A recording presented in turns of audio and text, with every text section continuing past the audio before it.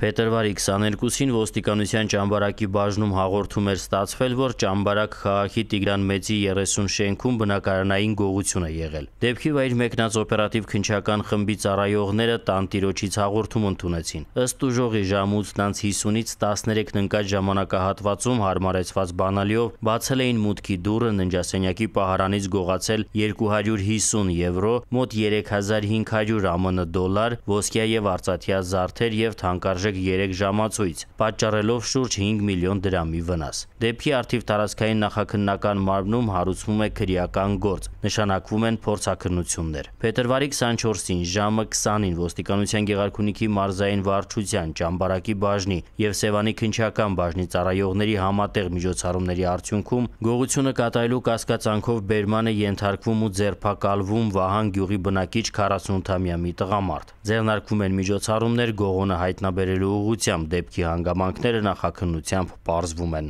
Ծանուցում ենթադրյալ հանցանքի մեջ կասկածվողը կամ մեղադրվողը համարվում է անմեղ, քանի դեռ նրա մեղավորությունն ապացուցված չէ Հայաստանի Հանրապետության քրեական դատավարության օրենսգրքով սահմանված կարգով՝ դատարանի օրինական ուժի մեջ մտած դատավճռով։